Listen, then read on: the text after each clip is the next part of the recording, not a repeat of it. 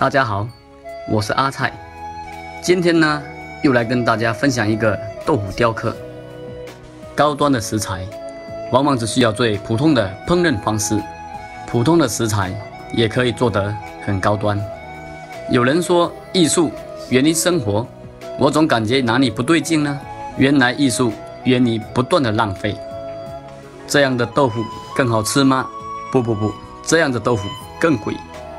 有网友说：“阿菜，把丢下来的豆腐寄给我吧。”我说：“亲，不必这么麻烦，我带着豆腐到你家去不就可以了吗？”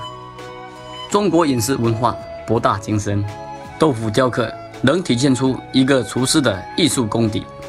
动作要快，姿势要帅，一块豆腐千把块。忙碌了两个小时，阿菜到后面还是点了份外卖，刻得不好，仅供参考，谢谢。